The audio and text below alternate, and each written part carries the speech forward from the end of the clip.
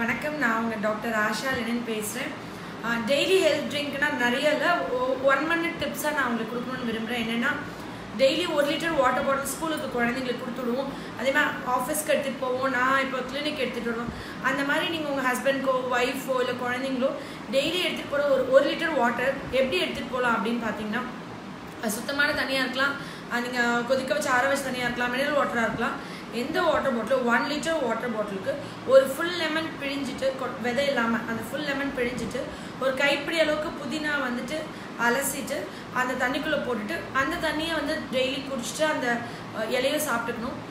இதுதான் நாங்கள் வந்து ஜென்ரல் என் ஃப்ரெண்ட் என்னோட க்ளோஸ் ஃப்ரெண்ட் அவங்க வந்துட்டு ரெகுலராக ஜூம்பா கிளாஸ்லாம் எடுத்துகிட்டு வராங்க. நிறைய பேருக்கு நான் ரெகுலராக சொல்லிட்டு இருக்க விஷயம். அண்ட் ஜூம்பா பண்ணும்போது ஃபிட்னஸ் ஒர்க் அவுட் பண்ணும்போது வேர்க்கும் போது இது வந்து ஆன்டி ஆக்சிடென்ட் உடம்ப வந்துட்டு ரொம்ப ரீஜெனுவேட் பண்ணும். அதனால் குடிங்கன்னு சொல்லுவேன். ஆனால் நான் இது ஐஷுக்கு அஸ்வின் ஸ்கூலுக்கே ஜென்ரலாக வந்து ஒரு லிட்டர் தண்ணியில் வந்து ஒரு ஃபுல் லெமன் பிழிஞ்சிட்டு அதில் வந்து ஒரு கொஞ்சோண்டு புதினா எடுத்து கழுவிட்டு அதுக்குள்ளே போட்டுடணும். உப்பு சர்க்கரை எதுவும் போடக்கூடாது. சால்ட் போட்டால் கண்டிப்பாக அது ரொம்ப சைடு எஃபெக்ட் பண்ணும். டெய்லி அந்த மாதிரி சால்ட் போட்டு குடிச்சா கிட்னி எஃபெக்ட் பண்ணும். அண்ட் சுகரும் போடக்கூடாது.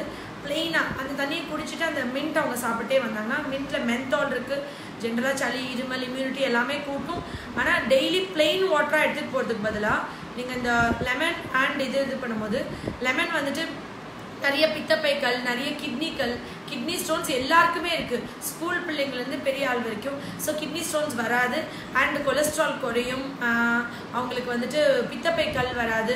ஈஸியாக வந்து கிட்னி ஸ்டோன் டிசால்வ் ஆகும். பாக்டீரியா வைரஸ் அந்த இது வந்து கல்டிவேட் ஆகாது. விட்டமின் சி நிறைய இருக்கிறதுனால நோய் எதிர்ப்பு சக்தி ரொம்ப கூடும்.